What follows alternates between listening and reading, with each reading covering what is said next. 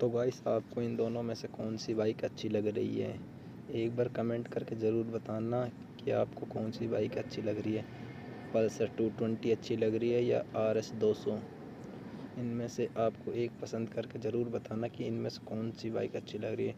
और हम चलते हैं राइड पर।